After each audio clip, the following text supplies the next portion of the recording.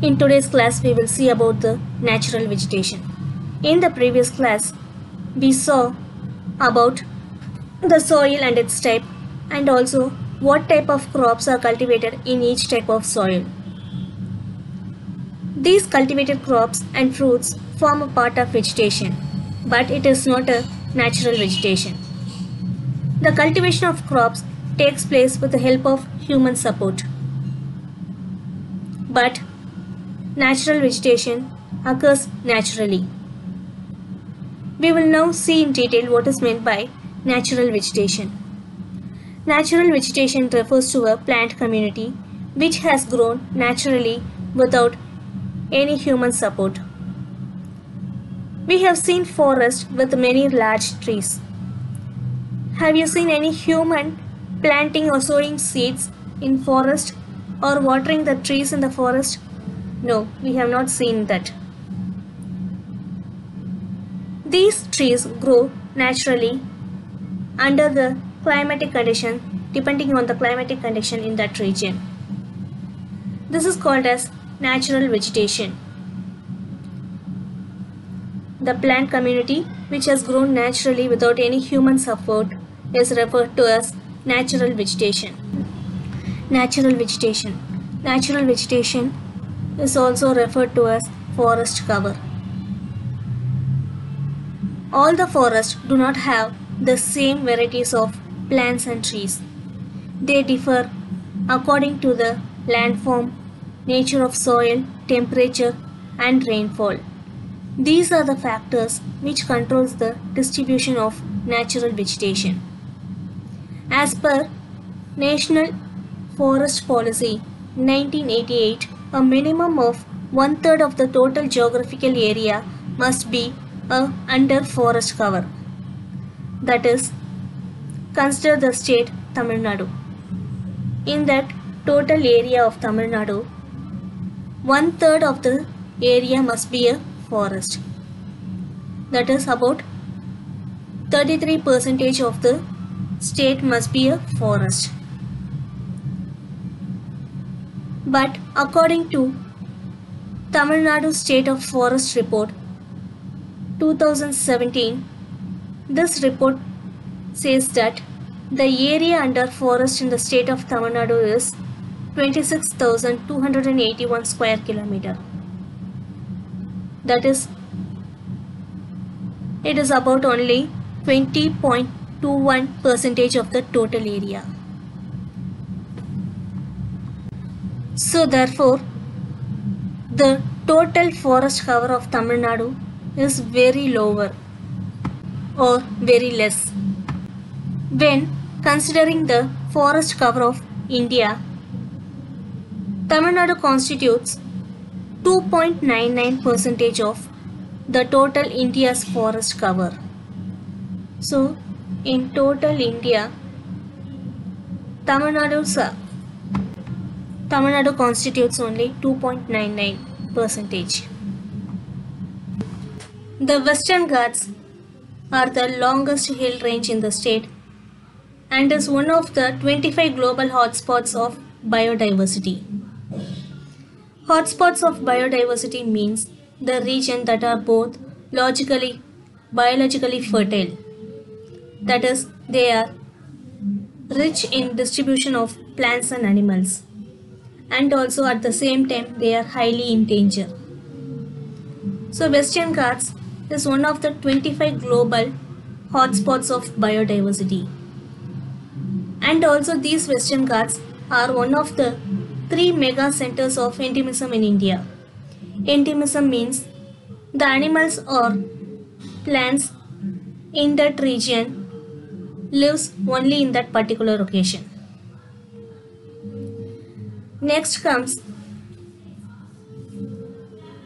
the categories of forest.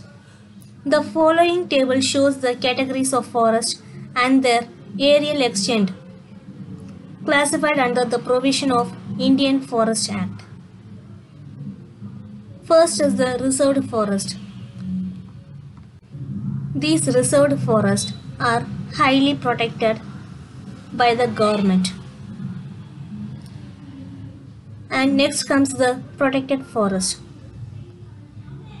These type of forests are also protected by the government, but special permissions are given for all type of activities unless it is prohibited. Third comes the unclassified forest. Those forests which are not which do not come under the protection of government is called as unclassified forest. So the total forest area in Tamil Nadu is about 22,507 square kilometer. The forest in the state is broadly divided into five types, namely tropical evergreen forest, which means in Tamil Pasmai Mara Kadugal Second one is the montane temperate forest. Third is the tropical deciduous forest. Fourth, mangrove forest. And the last is the tropical thorn forest. We will see about each type in detail. Forest type. The forest in the state is broadly divided into five types. The first comes the tropical evergreen forest. Evergreen means the tree, the leaves of the tree are evergreen throughout the year because they do not shed their leaves during any season. These type of forests are found in the region that receive heavy rainfall. The average rainfall in these forests is more than 200 centimeter. It is a dense multi-layered forest. Multi-layered means you can see trees, shrubs and creepers. That is from bottom to top at various heights you can see all type of plant varieties. So it is called as a multi-layered forest. This region is warm and wet throughout the year you can find these tropical evergreen forests in the upper slopes of western ghats of Tirunelveli, Kanyakumari, Nilgiris and Coimbatore districts. The major tree species of this forest are cinnamon, Malabar ironwood, Panasa, Java plum, or jack, kindle, avani and grape, grape myrtle. Semi-evergreen forest. Semi-evergreen forests are a combination of both evergreen and deciduous forest. You can see both varieties of trees in this forest. These semi-evergreen forests are found in the hills of Eastern Ghats, especially in the hills of Servarayan, Kollimalai and Pachimalai hills. Species of Indian mahogany, Monkey teak, woolly cassia, jack and mango trees are common in this region. Mountain temperate forest. They are called as Midha Veppa Mandala Kadugal in Tamil. These mountain, mountain temperate forests are found in the sheltered valleys of Annamalai, Nilgiris and Palani hills over a thousand meters altitude. We already know what is a valley. Valley is a land between two hills or a mountain. So the land area between two mountains or hills is called as a valley. தமிழில் பள்ளத்தாக்குன்னு சொல்லுவோம் so இந்த வேலியில் இருக்கிற அந்த ஃபாரஸ்ட்டை தான் நம்ம mountain temperate forest அப்படின்னு சொல்கிறோம் த ஃபாரஸ்ட் இந்த ஃபவுண்ட் இந்த sheltered valleys of Anamalai, Nilgiris and Palani hills are called as the mountain temperate forest. They are also known as sholas. The trees in this forest are evergreen but usually short. In the tropical evergreen forest, the trees are very tall. Here in the mountain temperate forest, the trees are short. Some of the common some of the trees which are found commonly are Nilgiri champa, Wight's litsea and rose apple. The third type of forest is the tropical deciduous forest. Deciduous means ഇലയുതിർ കാടുകൾ This type of forest lies in the border of semi-evergreen and tropical evergreen forest. The trees in this forest shed their leaves during the dry season, that is during the summer season. The trees in these forests shed their leaves, the leaves fall down. The trees grow up to a maximum height of 30 meters. Some trees of this forest are silk cotton, kapok, kadamba, dog teak, woman's tongue, axlewood, and cerise. Bamboos are also common in this type of forest. Some trees of this forest are economically important. Mangrove forest. Mangrove forests are commonly found in Pichavaram. This type of forest is found in the coastal areas, river deltas, and tails of islands. Since the trees of the mangrove forest grows well in the salt water, they are found along the coastal region. அதாவது கடலும் நிலமும் சந்திக்கிற இடத்துல you can find these mangrove forest in common The vegetation is typical evergreen. That means the trees do not shed their leaves at any season. The trees are medium in height and has leathery leaves. The leaves are very flexible. The vegetation of this forest is adapted to survive in tidal mud and salt water. So the trees grow well in salt water. Asiatic mangrove, white mangrove, wild jasmine, Indian privet are some of the notable trees of this forest. Pichavaram, Vedaranyam, Muthupet, Chatram and Thuthukudi are the places in Tamil Nadu where the mangrove forest is found to a considerable extent. Role of mangroves in coastal zone management. Mangroves helps in prevention of coastal erosion from waves and storms. That is, the mangroves acts as a barrier and prevents the waves and storms from eroding the coastal region. It also protects coral reefs and seagrass. Coral reefs are Pavadaparegal. It protects the coral reefs and seagrass. Pichavaram mangrove forest is located near Chidambaram in Cuddalore district. It is the second largest mangrove forest in the world. It covers an area of about 11 square kilometer. It is separated from the Bay of Bengal by sandbar.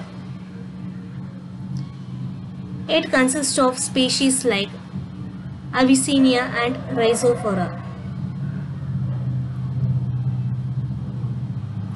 It also supports the existence of rare varieties of shell and fin fishes. In this tabular column, you can see the name of districts with prominent forest cover in Tamil Nadu. So, the district which has the maximum forest cover in Tamil Nadu is Dharmapuri with an area of 3280 square kilometer. Next to Dharmapuri is Coimbatore. And third one is Erode. Fourth is Vellore and then Nilgiris and Dindigul. Tropical thorn forest. Thorn forest in Tamil Nadu is found where there is a little rainfall. These forests are found from plains up to 400 meters altitude. The common trees of this forest are Rusty acacia, wheel, neem and palm. Neem and palm you know already. So the other types of trees are called as Karvela Maram in Tamil. These Karvela Maram are called as the curse of Tamil Nadu because it makes the region dry. Wherever it goes, it makes the that region dry. Because the roots of this tree grows long and deep into the soil and it absorbs the surface water. On the other side, the leaves of this tree are thick and has large pores.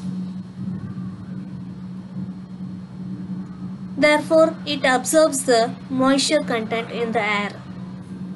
If the air loses its moisture content, then there will be no chance of rain. There will be no rainfall in that region. The root absorbs the surface water and the leaves absorbs the moisture content in the air. So therefore the region becomes totally dry. So therefore it is called as the curse of Tamil Nadu.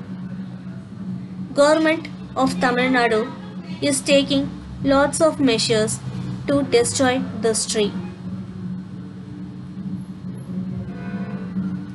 This type of forest is found in the districts of Dharmapuri, Ramanathapuram, Virudhunagar and some parts of interior districts. You can see this uh, tree Karvela commonly in all the places but it is found in vast in Dharmapuri, Ramanathapuram and Virudhunagar districts. Answer the following questions. Distinguish between the following. You can answer the third question. What is the difference between the tropical evergreen forest and tropical deciduous forest? Under the physiographic divisions of Tamil Nadu, the last topic we are going to see is about the wildlife. Animals and birds live in forest constitute the wildlife. Tamil Nadu has a variety of wild animals, birds and reptiles. We will see in detail about the wildlife in this class today.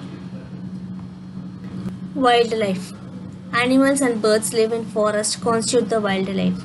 Tamil Nadu has a variety of wild animals, birds and reptiles. Hills are an ideal shelter for elephants, bisons, tigers, deer and monkeys.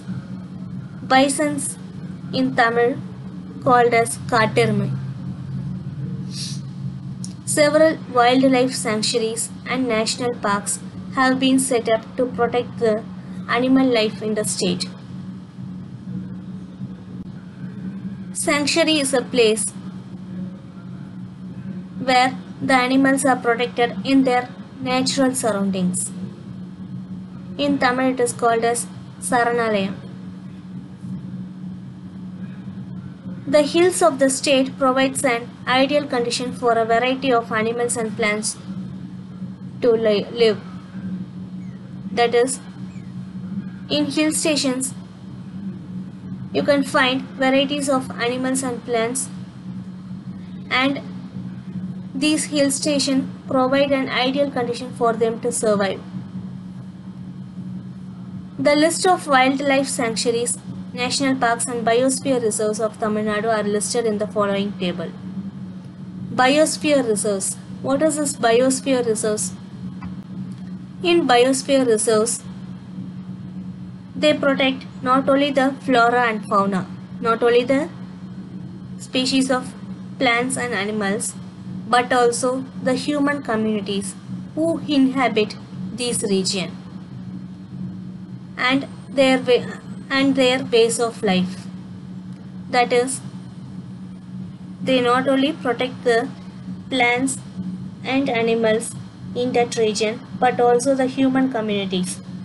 They protect the human who live in that region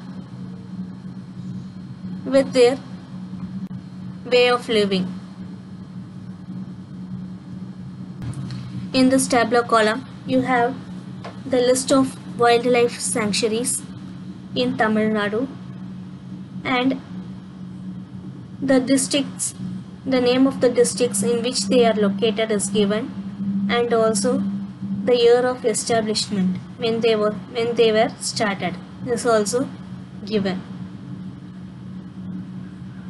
The oldest wildlife sanctuary is Mudumalai Wildlife Sanctuary. It is present in the Nilgiris district and it was established in the year 1940. Go through the tabular column to find out the various wildlife sanctuaries in Tamil Nadu. This tabular column gives the list of bird sanctuaries in Tamil Nadu. The oldest bird sanctuary is Vetangudi Bird Sanctuary, which is in Sivagangai district and was established in the year 1977. The famous Vedantangal Bird Sanctuary is in Kanchipuram district and was established in 1998. You can find both these tabular columns in your book. Go through these tabular columns to know about the sanctuaries. Biosphere reserves in Tamil Nadu. There are three biosphere reserves in Tamil Nadu. We have already seen what is meant by biosphere reserves. In biosphere reserves, they not only protect the plants and animals but also the human communities in that region. They pro- protect the human communities in their way of life. The first biosphere reserve in Tamil Nadu is Nilgiri Biosphere Reserve. Second comes the Gulf of Mannar Biosphere Reserve. The third is the Agasthyar Malay Biosphere Reserve. Tamil Nadu is a state with varied climate, landforms and resources. These are the nature's gift to our state. This makes our state a distinct one among the Indian states. In Tamil Nadu, we have all the resources. If the available resources are utilized rationally, that is in a proper manner, it may continue to be at the top in the country. So it is the duty of each and every one of us to strive towards achieving this goal. The land of Tamil Nadu is renowned for its cultural heritage and amazing natural beauty. Tamil Nadu has beautiful landscapes, exotic beaches, vibrant climate, and also we have seen the various physical divisions of Tamil Nadu, which includes high mountains, valleys, plains, plateaus, natural vegetation, forest, and wildlife. Even though Tamil Nadu is blessed with its natural beauty, it also faces some natural disaster, which is a major bad event caused by the natural processes of the earth. Some of the natural disasters faced by Tamil Nadu is floods, landslides, cyclones, etc. In this class today, we will see about the natural disasters faced by our state Tamil Nadu. Natural disasters in Tamil Nadu. First, we will see what is meant by natural disasters. A sudden natural event that causes great damage or loss to lives and properties is called as a disaster. There are many reasons which cause the natural disasters, but a common reason which causes the increase in frequency of disaster all over the world is the alteration of natural environment by the technology and developmental activities. Humans are responsible for the technology and developmental activities. The process of urbanization, the change in lifestyle. We build buildings by destroying the farming lands. And also we build industries. And we destroy the surface water, which in turn makes the soil infer- infertile for cultivation. Overpopulation, burning of fossil fuels, deforestation, all these things have triggered climate change, soil erosion, and poor air quality, and also reduces the water level. And so, therefore, the total land becomes infertile with no rainfall. These are the reasons which causes the natural disasters nowadays. According to United Nations Office of Disaster Risk Reduction, UNDRR, disaster risk reduction is the concept and practice of reducing disaster risk through systematic efforts to analyze and reduce the casual factors of disasters. That is, it is a process of reducing disaster through systematic effort. That is, they plan properly, they analyze what are the reasons that cause disaster, what are the ways to prevent disaster, and how to reduce disaster. And they analyze on all these things and they finally arrive at a conclusion to reduce the factors of disaster. This includes reducing exposure to hazards, lessening the vulnerability of people and property, that is, lessening the maximum amount of damage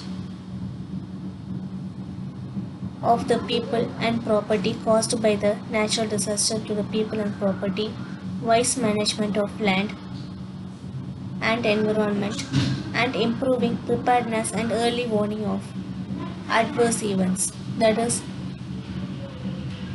giving an awareness about the occurrence of natural disasters.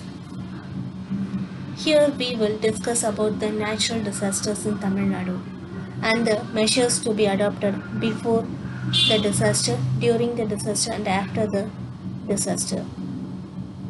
The first we are going to see about the landslide.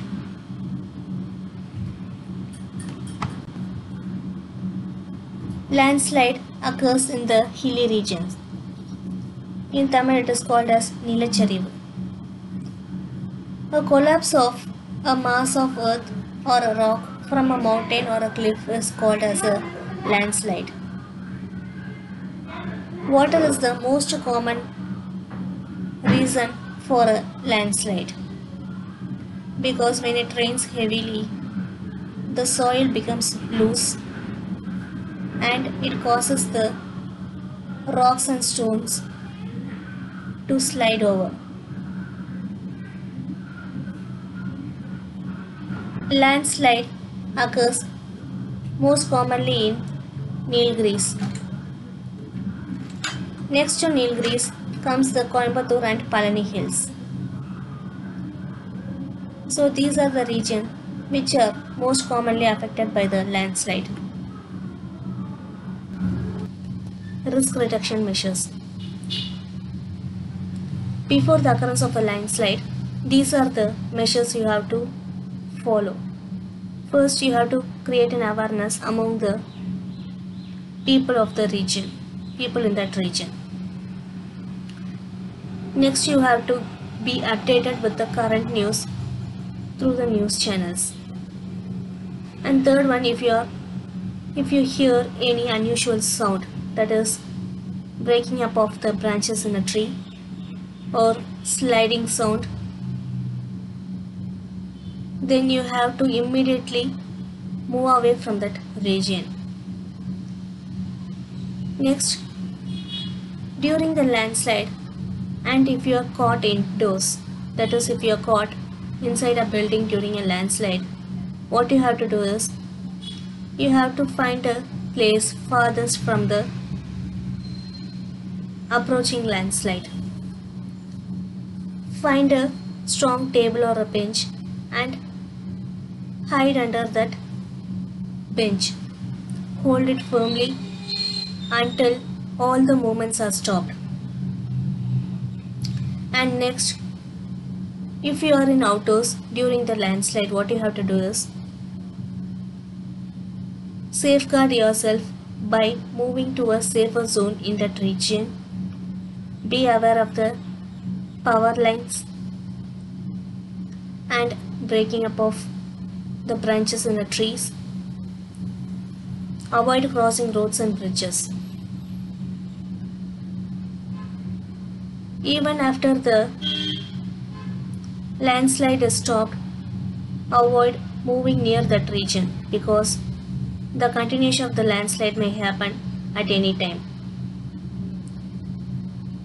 After the occurrence of the landslide, you have to be keep on monitoring the current news through various channels, news channels. Watch for flooding because there is a chance of flood to occur after the landslide. Check for any injured or trapped person without going near to the landslide region. Check for any injured and trapped person and inform the rescue team. The next natural disaster we are going to see is floods. Flood is a common one in the coastal region of Tamil Nadu during northeast monsoon. We have already seen that Tamil Nadu receives its maximum rainfall during the northwest northeast monsoon. It may sometimes cause floods and cyclones. The recent flood occurred in the state was in 2015. We could not forget that. The Coromandel coast regions of South India, the states of Tamil Nadu and Andhra- Pradesh, was, was worstly affected by this flood.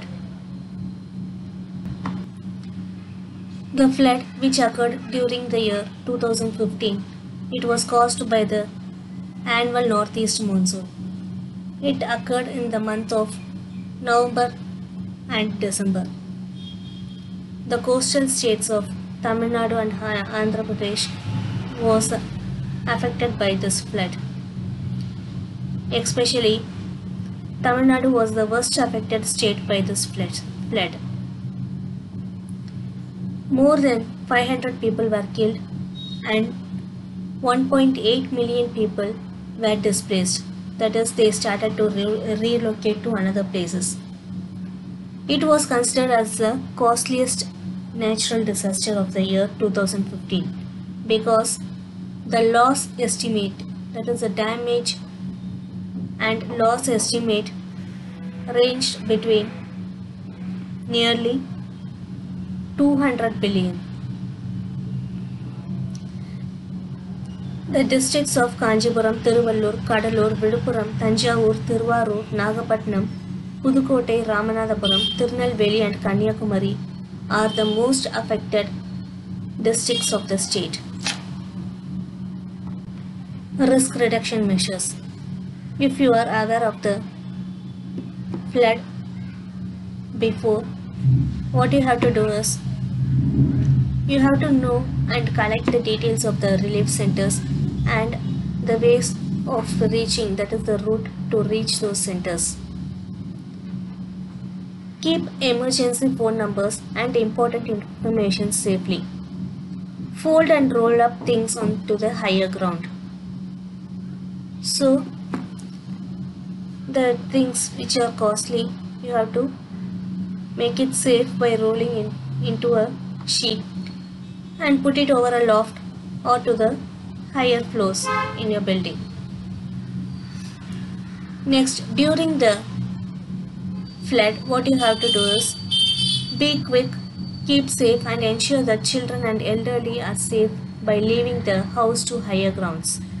So, if you are residing in a ground floor, move on to the higher floors, especially First, you have to move the children and elderly people.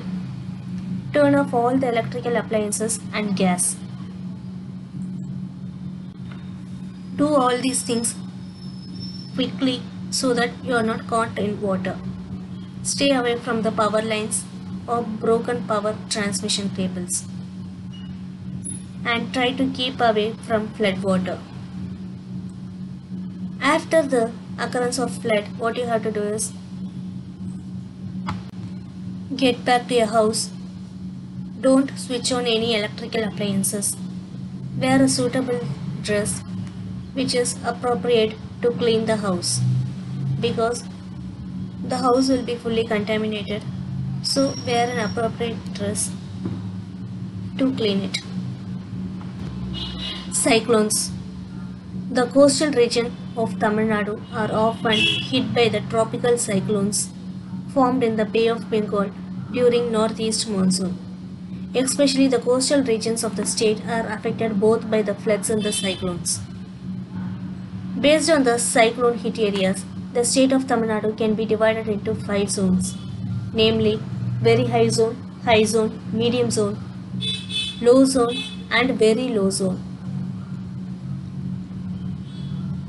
Southern part of Chennai, eastern part of Kanchipuram, eastern part of Viluppuram, northeastern part of Cuddalore, and Union Ter- Territory of Puducherry fall under the very high cyclone prone zone. The districts like Nagapatnam, Tiruvallur, Tiruvarur, southern part of Tanjavur, eastern part of Pudukkottai, eastern part of Cuddalore, middle portion of Viluppuram, eastern part of Tiruvannamalai, western part of Kanchipuram, northeastern part of Vellore and northern part of Chennai districts are included in the higher high cyclone prone zone. Risk re- reduction measures. If you are aware of the cyclone, the following are the steps you have to follow before the occurrence of the cyclone. First of all, avoid rumors. Stay calm and there is no nothing to panic. Don't get afraid. Keep your mobile phones charged to ensure connectivity. Use SMS, listen to radio, watch TV, read newspaper for weather updates. Keep your important documents and valuables in a waterproof containers. So you you would have many important documents like your ration card, Aadhaar card, driving license, passports, study cert- certificates, and other valuable things. Keep all these things safely in a waterproof container so that it does not get wet. Prepare an emergency kit with essential things that you need to survive that will help you to survive for few days. Secure your house, lock it safely. Don't leave any sharp objects loose. Keep the sharp objects within a cupboard and lock it. If you have cattle or animals, untie them. That is, remove the rope and so that it can move to a safer zone. Fishermen should keep a radio set with extra batteries in hand. They should keep their boats and rafts tied up safely and they should not move into the sea until or unless announced by the government. During the occurrence of the cyclone, the steps to be followed are take care of the old and young people, keep all family members inside the house, don't come out of your house for any purpose. Switch off all the electrical appliances. Stay in an empty room. Movable items should be kept securely tied. Try to help your neighbors but don't go out during cyclone. Help your neighbors but also keep yourself safe. After the cyclone, those who shifted to the cyclone centers must remain there till instructions are received from the government. Strictly avoid loose electrical wires after cyclone. Beware of snakes and other animals immediately after the cyclone because they would also re- relocate to safer zones. Clear the waste and rubbish from the nearby premises after the cyclone and report losses truthfully and accurately to the authorities. Drought. The next natural uh, disaster we are going to see about is drought. Drought means varachi in Tamil.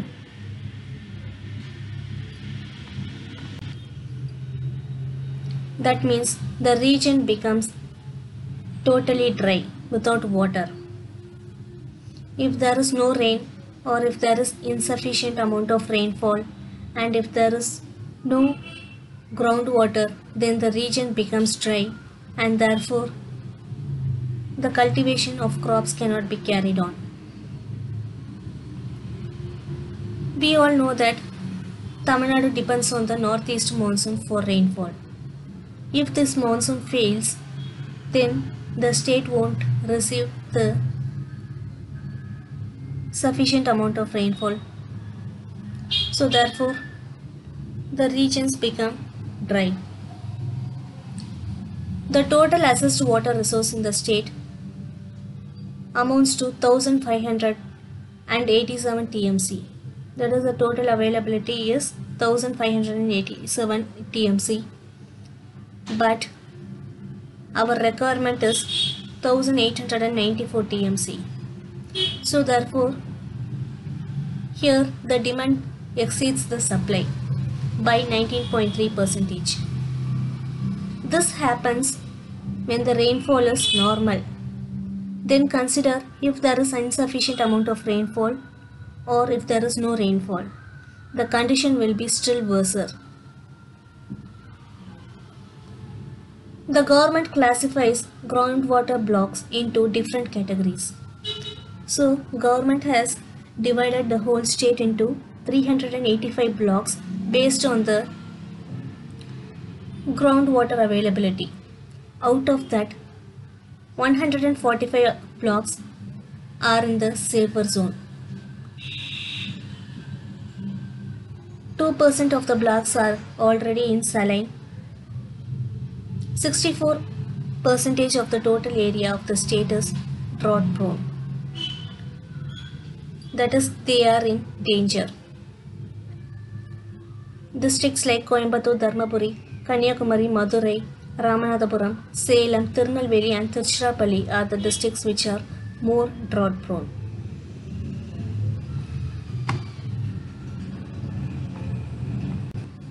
We have already seen what is meant by desertification. That is, the fertile land becomes changes into a desert soil because of land degradation, soil erosion, etc.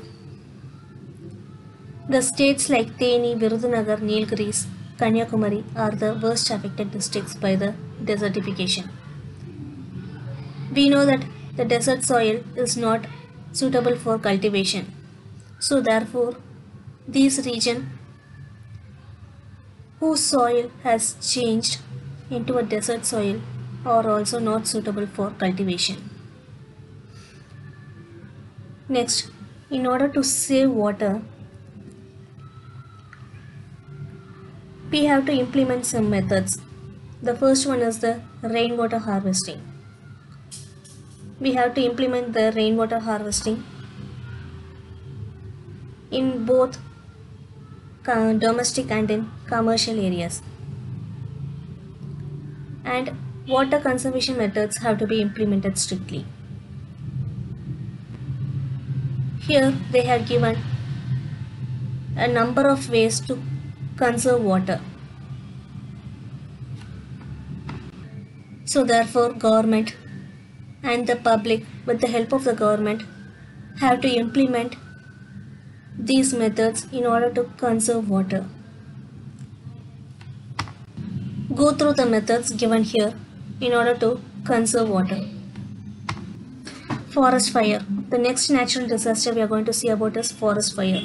The forest fire mostly occurs in the dry regions and in summer seasons. This forest is mostly found in the occurs in the deciduous forest and then the thorn forest. Deciduous forest receives seasonal rainfall so they are dry during the summer season and thorn forest as we know it grows only in the dry region so it is almost dry throughout the year.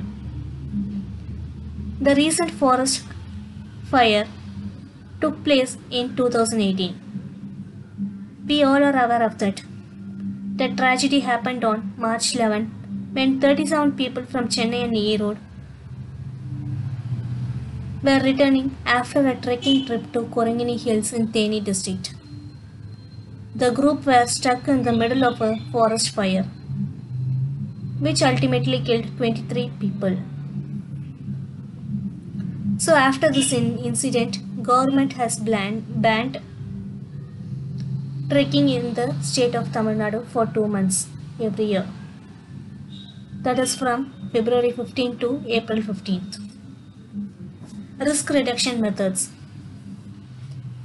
Before the occurrence of the forest fire, you have to separate your home from flammable vegetation and materials.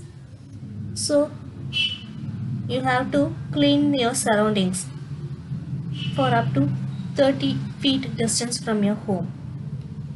Destroy all the vegetations and materials which will which would cause fire, which are easily inflammable. And then follow all local fire and building codes. Keep all trees and shrubs trimmed. Since it is a dry region, all the trees, leaves, branches will be dry and it could easily catch fire. So cut, cut off the upper layer of the trees and shrubs. Use approved fire resistant material and also plan yourself to relocate to some other place with your family. During the forest fire, that is, if a forest fire has happened, what are the steps you have to do? First, listen to the radio, watch TV, newspaper, and keep on monitoring the current updates. If the if there is adequate water in your region, fill all the buckets with water and keep it ready. Turn off gas and electrical appliances and be ready to move away with all family members in case of emergency. After the forest fire, what are the steps to be followed?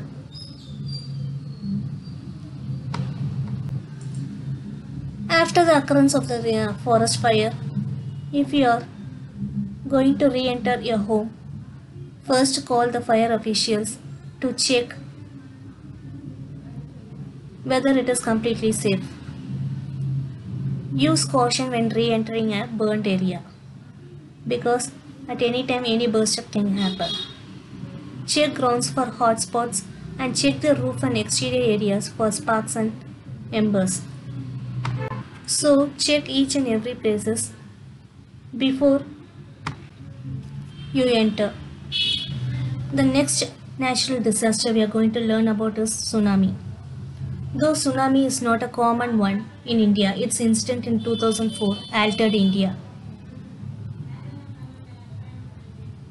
Tsunami are caused by the earthquake that happens under the sea level.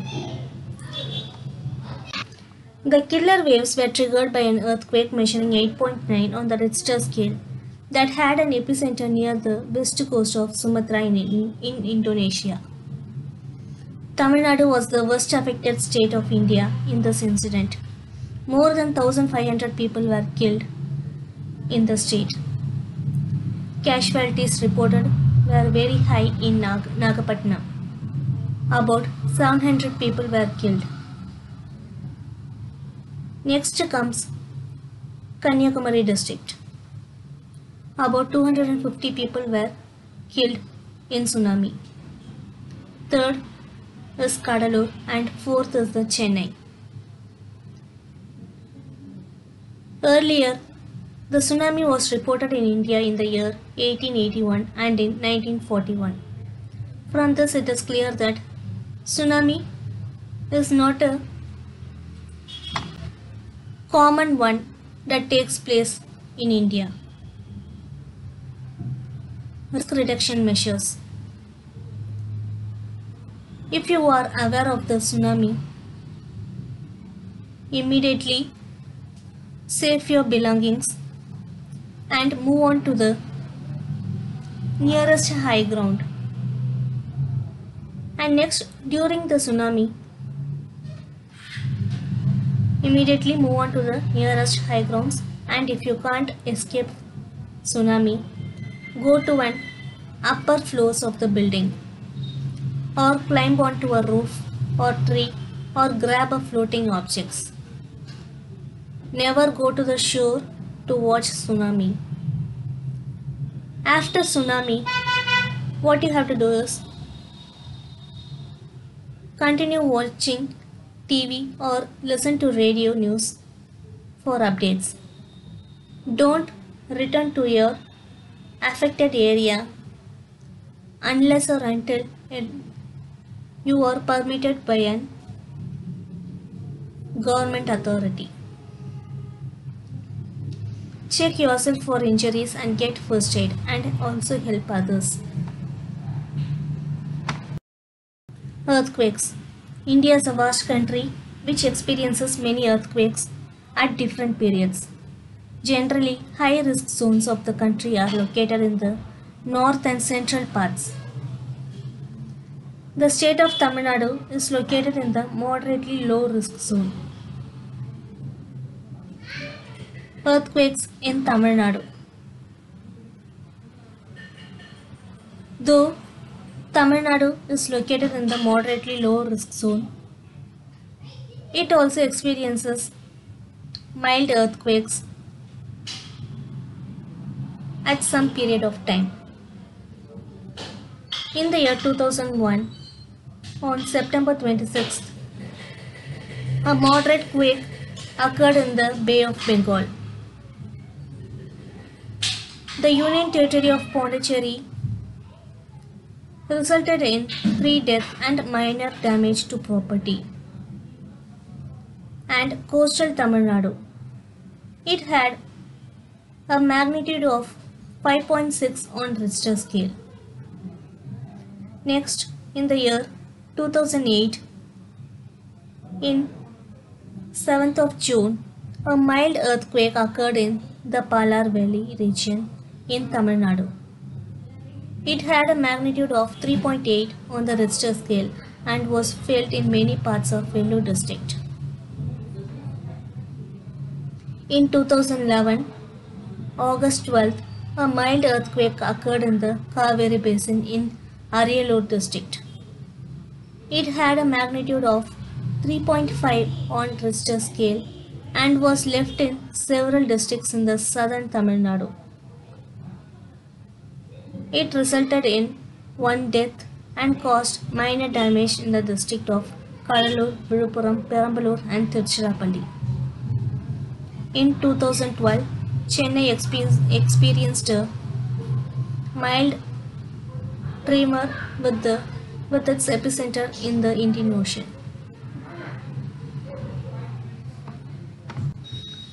Risk reduction measures. During the earthquake, take cover under a strong table or any other piece of furniture and remain under the cover until the shake stops. So hide yourself under a strong table or any other furniture and remain in that place until the shake stops. After the occurrence of earthquake, proceed cautiously. So you have to be very cautious once the earthquake has stopped. And always avoid roads and also bridges that might have been damaged by the earthquake.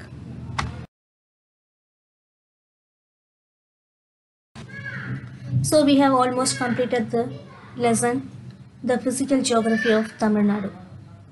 We will have a overview of the lesson now.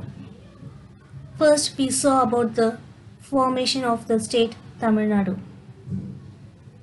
Next we started with the physiographic divisions of Tamil Nadu which includes Western Ghats, Eastern Ghats, plateaus, plains, drainage that is the river system, climate, soil and its types, soil erosion, vegetation that is the types of forest, wildlife and finally the natural disasters in Tamil Nadu. Summary of the lesson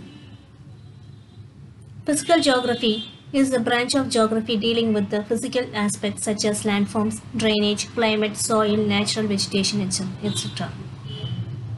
We have seen in detail about each branch. Tamil Nadu is broadly classified into three physical divisions, namely mountains, which includes the Western Ghats and the Eastern Ghats, plateaus, which includes Baramahal Plateau, Coimbatore Plateau and Madurai Plateau, and plains known as inland plains and the coastal plains. Next coming to the major rivers of Tamil Nadu. Kaveri, Palar, Ponnayar, Vaigai and Tamarabarni are the major rivers of Tamil Nadu. In this, Tamarabarni is called as the perennial river because it has water throughout the year because it receives rainfall from both the north, northeast and the southwest monsoon. The climate of Tamil Nadu is tropical maritime climate.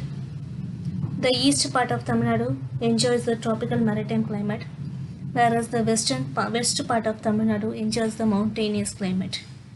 The central region of Tamil Nadu is hot and dry because of the low altitude and the distance from the sea. Winter, summer, southwest and northeast monsoons are the seasons of Tamil Nadu. Soils of Tamil Nadu are classified into five types according to the characteristics. They are alluvial soil, black soil, red soil, laterite soil and saline soil.